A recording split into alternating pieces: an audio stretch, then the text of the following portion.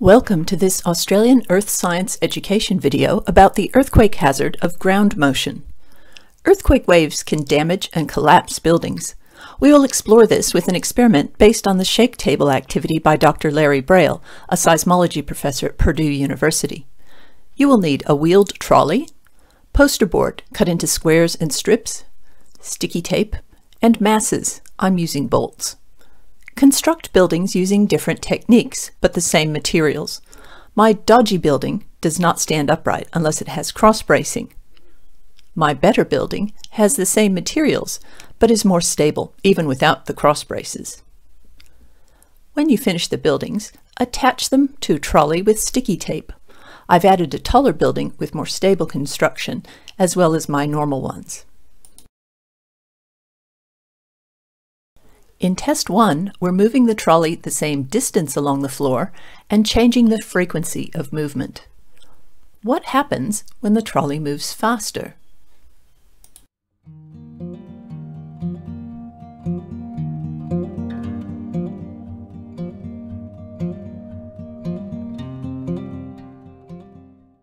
In test 2, we change the amplitude of the movement by moving the trolley different distances along the floor. What is the effect of a greater amplitude?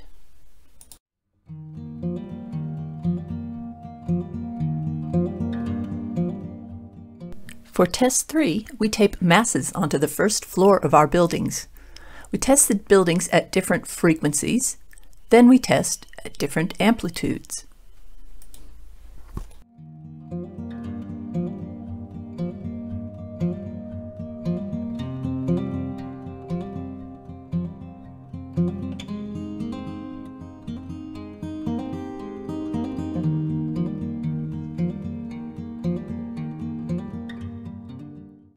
Test 4 has additional masses on the second floor of the buildings.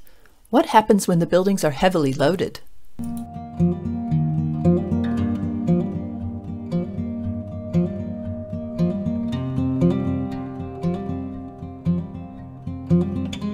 There are many aspects of results to consider.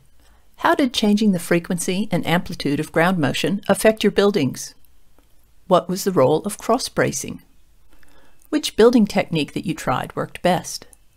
How did height affect stability? How did loading affect stability?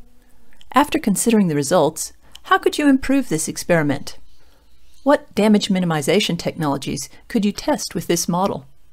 We hope you've enjoyed this video. For more resources, visit our website at ausearthed.com.au.